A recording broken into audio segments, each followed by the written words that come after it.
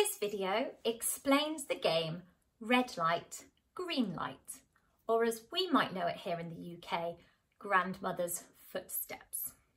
So of course this red light, green light comes from the series Squid Game. And if your student or your child is under 15, they shouldn't be watching it because it has been UK rated as a 15. But I've had lots of students and children ask me what is red light, green light. And out of the Squid Game context, there's really no problem with playing that game. And in actual fact, I've used it under the title Grandmother's Footsteps with the prep school aged children before. So here it is. You have one person at one end of the room and the rest of the class at the opposite end. I name that one person Grandma when we're doing Grandma's footsteps. You can name them whatever you like, but you've got the leader facing away from the rest of the group behind them. Green light is go. The students walk or run if you permit them towards the grandma at the other end. However, she's facing away.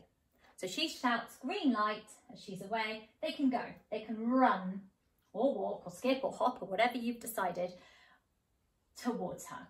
And she turns round, she says red light.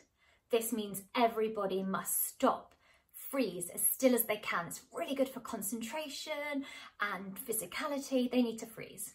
If she or he spots somebody moving, they are either out of the game or as I like to play it, they go back to the start of the room. So they can still continue with the game, but wherever they've got to across the room, they need to go back to the start. If you like, you can tape or draw a finish line by grandma, if that helps you.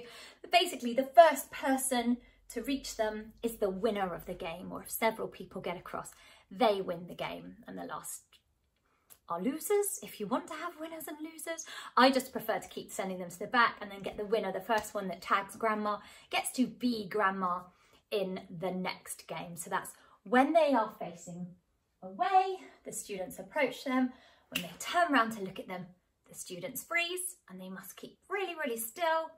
And if the grandma spots them moving, then they need to move to the back of the room and start again, whereas everybody else who wasn't spotted moving can carry on from their position and have got more chance of tagging the grandma. I hope this helps explain the red light, green light game that has become so popular recently.